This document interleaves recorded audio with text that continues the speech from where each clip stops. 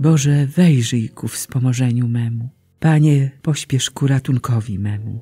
Chwała Ojcu i Synowi i Duchowi Świętemu, jak była na początku, teraz i zawsze, i na wieki wieków. Amen. Alleluja. Boże, źródło wszelkich bytów, gdy skończyłeś swoje dzieło, napełniłeś całą ziemię darem bogactw nieprzebranych. Już skończony ogrom świata, wtedy nastał odpoczynek, aby dla nas był przykładem odzyskania sił po pracy. Pomóż nam, prosimy, Panie, opłakiwać błędy życia, zawsze spełniać cnót nakazy, by zasłużyć na Twą łaskę. Kiedy zaś nadejdzie groza przed straszliwym Twoim sądem, daj nam wspólnie się radować Twym pokojem wiekuistym. Spraw to, Ojcze miłosierny, który razem z Twoim Synem i z Pocieszycielem Duchem władasz czasem i wiecznością. Amen. Proście o pokój dla Jeruzalem. Ucieszyłem się, gdy mi powiedziano: Pójdziemy do domu Pana. Już stoją nasze stopy w Twoich bramach, Jeruzalem. Jeruzalem zniesione jak miasto, gęsto i ściśle zabudowane. Do niego wstępują pokolenia, pokolenia pańskie, aby zgodnie z prawem Izraela wielbić imię Pana. Tam ustanowiono trony sędziowskie, trony domu Dawida. Proście o pokój dla Jeruzalem. Niech żyją w pokoju, którzy Cię miłują. Niech pokój panuje w Twych murach, a pomyślność w Twoich pałacach. Ze względu na moich braci i przyjaciół będę wołał pokój z Tobą. Ze względu na dom Pana Boga naszego modlę się o dobro dla Ciebie. Chwała Ojcu i Synowi i Duchowi Świętemu, jak była na początku, teraz i zawsze, i na wieki wieków. Amen. Proście o pokój dla Jeruzalem. Dusza moja oczekuje Pana bardziej niż strażnicy poranka. Z głębokości wołam do Ciebie, Panie. Panie, wysłuchaj głosu mego. Nachyl swe ucho na głos mojego błagania. Jeśli zachowasz pamięć o grzechach, Panie, Panie, któż się ostoi? Ale Ty udzielasz przebaczenia, aby Ci ze czcią służono. Pokładam nadzieję w Panu. Dusza moja pokłada nadzieję w Jego słowie. Dusza moja oczekuje Pana.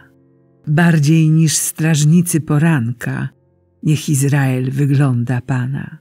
U Pana jest bowiem łaska, u Niego obfite odkupienie. On odkupi Izraela ze wszystkich jego grzechów. Chwała Ojcu i Synowi i Duchowi Świętemu, jak była na początku, teraz i zawsze i na wieki wieków. Amen. Dusza moja oczekuje Pana bardziej niż strażnicy poranka. Chrystus stał się sprawcą wiecznego zbawienia dla wszystkich, którzy Go słuchają. Chrystus nie sam siebie okrył sławą przez to, że stał się arcykapłanem, ale uczynił to ten, który powiedział do niego: Ty jesteś moim synem, jam ciebie dziś zrodził. Za dni ciała swego, z głośnym wołaniem i płaczem, zanosił on gorące prośby i błagania do tego, który mógł go wybawić od śmierci. I został wysłuchany dzięki swej uległości, a chociaż był synem, nauczył się posłuszeństwa przez to, co wycierpiał. A gdy wszystko wykonał, stał się sprawcą wiecznego zbawienia dla wszystkich, którzy go słuchają. Chwała Ojcu i Synowi i Duchowi Świętemu, jak była na początku, teraz i zawsze, i na wieki wieków. Amen. Chrystus stał się sprawcą wiecznego zbawienia dla wszystkich, którzy Go słuchają. Mamy mocniejszą prorocką mowę, a dobrze zrobicie, jeśli będziecie przy niej trwali jak przy lampie, która świeci w ciemnym miejscu, aż dzień zaświta, a gwiazda poranna wzejdzie w waszych sercach. To przede wszystkim miejcie na uwadze, że żadne proroctwo pisma nie jest dla prywatnego wyjaśnienia. Nie z woli bowiem ludzkiej zostało kiedyś przyniesione proroctwo, ale kierowani Duchem Świętym mówili od Boga święci ludzie. Od wschodu aż do zachodu słońca niech będzie pochwalone imię Pana. Od wschodu aż do zachodu słońca niech będzie pochwalone imię Pana. Ponad niebiosa sięga Jego chwała. Niech będzie pochwalone imię Pana. Chwała Ojcu i Synowi i Duchowi Świętemu. Od wschodu aż do zachodu słońca niech będzie pochwalone imię Pana. Wszyscy się dziwili pełnym wdzięku słowom, które płynęły z ust Jezusa. Wielbi dusza moja Pana i raduje się duch mój w Bogu, Zbawicielu moim, bo wejrzał na uniżenie swojej służebnicy. Oto bowiem odtąd błogosławić mnie będą wszystkie pokolenia, gdyż wielkie rzeczy uczynił mi wszechmocny, a Jego imię jest święte. Jego miłosierdzie z pokolenia na pokolenie nad tymi, którzy się Go boją. Okazał moc swego ramienia, rozproszył pyszniących się zamysłami serc swoich, strącił władców stronu, a wywyższył pokornych. Głodnych nasycił dobrami, a bogatych z niczym odprawił. Ujął się za swoim sługą Izraelem, pomny na swe miłosierdzie, jak obiecał naszym ojcom, Abrahamowi i jego potomstwu na wieki. Chwała Ojcu i Synowi i Duchowi Świętemu, jak była na początku, teraz i zawsze, i na wieki wieków. Amen. Wszyscy się dziwili pełnym wdzięku słowom, które płynęły z ust Jezusa.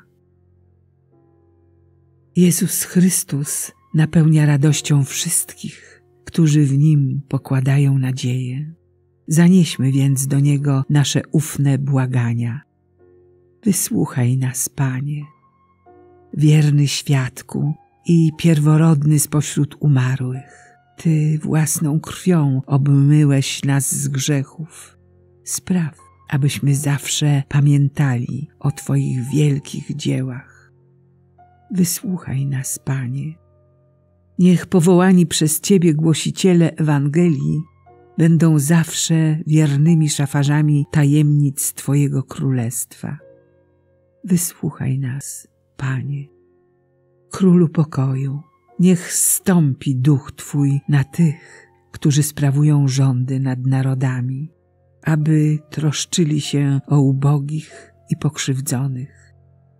Wysłuchaj nas, Panie. Okaż swą miłość cierpiącym z powodu rasy, koloru skóry, pochodzenia, języka lub przekonań religijnych. Niech doczekają się uznania swych praw i ludzkiej godności. Wysłuchaj nas, Panie Dopuść do udziału w wiecznym szczęściu tych, którzy w Twojej miłości zeszli z tego świata. Obdasz ich radością razem z dziewicą Maryją i Twoimi świętymi. wysłuchaj nas, Panie. Ojcze nasz, któryś jest w niebie, święć się imię Twoje. Przyjdź królestwo Twoje, bądź wola Twoja, jako w niebie, tak i na ziemi.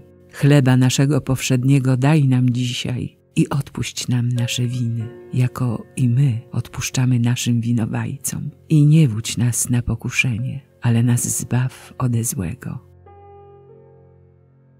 Panie, nasz Boże, spraw, abyśmy chwalili Ciebie z całej duszy i szczerze miłowali wszystkich ludzi. Przez naszego Pana Jezusa Chrystusa, Twojego Syna, który z Tobą żyje i króluje w jedności Ducha Świętego. Bóg przez wszystkie wieki wieków. Amen. Niech nas Bóg błogosławi, broni od wszelkiego zła i doprowadzi do życia wiecznego. Amen.